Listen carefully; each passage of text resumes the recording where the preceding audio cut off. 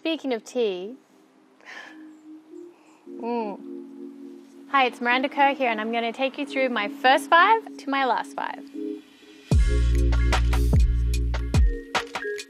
Good morning, Allure. It's 5:30 a.m. My husband just woke me up, uh, so I've got about 45 minutes to an hour before my three little kids wake up.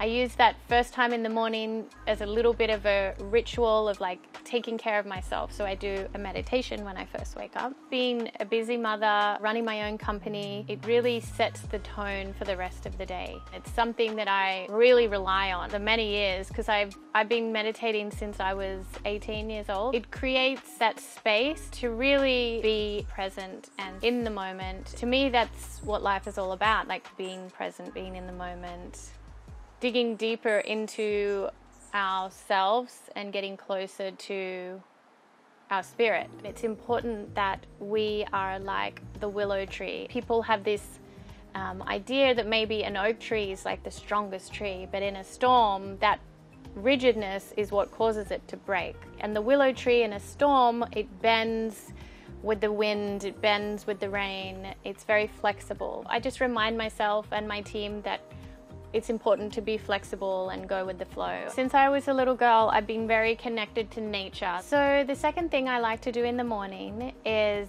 open my blinds, the windows. Um, I have a little balcony, and so I like to go onto my balcony and just give thanks for the day. I like to put my hands out and get the sunshine in my hands. You can feel the warmth in your hand and just imagining the sun filling up like you, through your whole body, like every cell in your body being filled with light is what I imagine, and feel the energy of the sun kind of uplifting me. Even if it's just a minute or two, it really makes a big difference for setting the day in the in the positive way. And if it's raining, just having gratitude for that rain. I say to myself, "Oh wow, like I'm so grateful for that rain. Like it's going to nourish our plants." And same with the sun, like thank you, sun, and just being thankful for all of the elements. Third thing is I like to dry body brush. So what I like to do is just, it gets the circulation going and I go upwards with the brush. It just stimulates blood flow, wakes up the body, and um, it's a way to detoxify. And so you kind of go up, up, up, and then up towards the heart, around the heart. So I start at my ankles, work my way all the way up towards my heart. I've been dry body brushing for, oh my God, like since I'm like 21. I dry body brush right before I hop in the shower. It just feels very uplifting to me. The fourth thing that I do is have a shower.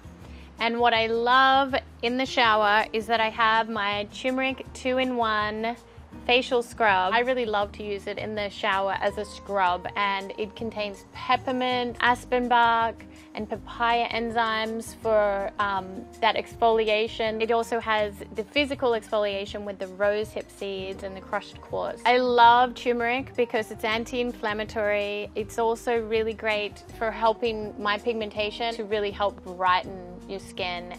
So now my face feels super fresh after removing the turmeric scrub. And then you use the Noni Glow face oil to just put the nutrients back into your skin. I use morning and night and gives your skin that beautiful natural glow.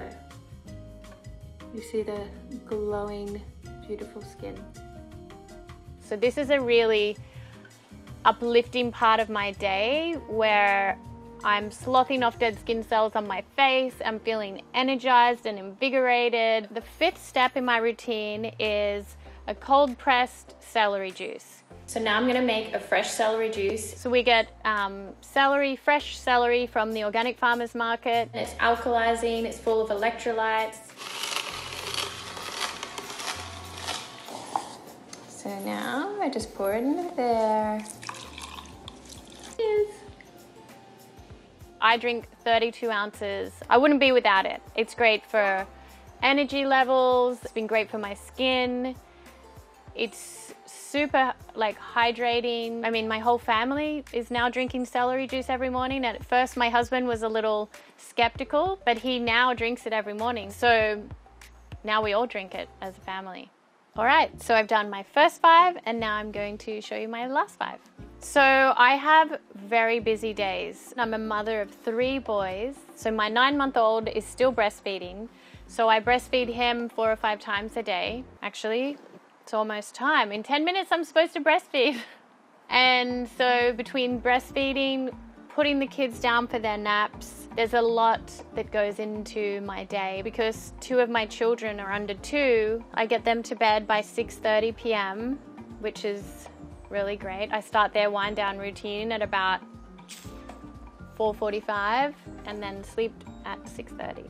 So then after the kids go to bed, then I get to do my little routine. So I just got the kids to bed. Evan's doing his workout. So I'm going to do a little Ballet Beautiful online and then take a bath.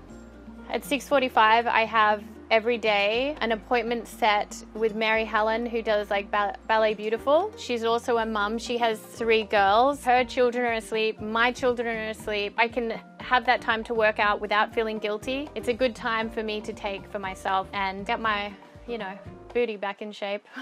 I love to take a bath. I love to light the candle and light a little Palo Santo. Sometimes what I like to do is put like a pound of sea salt and a pound of baking soda. I love to put a few drops of lavender oil in the bath um, or sandalwood. I put a few crystals in the bath, like rose quartz crystals. I use this body wash for my whole family, myself and my kids.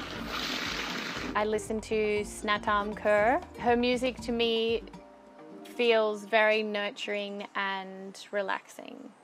Speaking of tea, we get fresh thyme from the farmer's market and put it in the hot water and then just boil the kettle, put the hot water in and let the thyme soak in the little teacup and just add a teaspoon of honey and then cheers. Thyme tea is very relaxing. And if I don't have the fresh thyme leaves, I will just have a lemon balm tea. Mm. I really prefer to read about health and wellness. Just finding a new recipe from my favorite book, Cleanse to Heal. And the way that the food we eat affects our body, the way that our thoughts affect our body and our mind. Um, so right now I'm reading Cleanse to Heal by Anthony William. I just think it's a really um, interesting book. So I'm enjoying that right now. I keep the Noni Glow sleeping mask next to my bed and I put it on every night as the last step in my routine. It doesn't go onto your pillow. It locks in the hyaluronic acid into your skin. At night, your skin is restoring and like rebuilding. For me, like, this is my lifesaver and it's really, really helped my skin. As I've said, I'm 37 and my skin has honestly never looked better and I'm religious with my routine. Um, that's something that I will always make time for. Put it on and this does the magic for you while you're sleeping. Night night. Every night I put my phone on airplane mode. And to turn my phone on airplane mode. It's a really great way to just disconnect. I have an international business and sometimes it's hard for me to not be responding because my business is almost like my fourth child. It's like my little girl. And so sometimes it's hard to disconnect, but putting my phone on airplane mode makes sure that if I wake up in the middle of the night to use the bathroom that I will not check my phone for emails. And that's it. Thank you so much for learning about my first five and last five.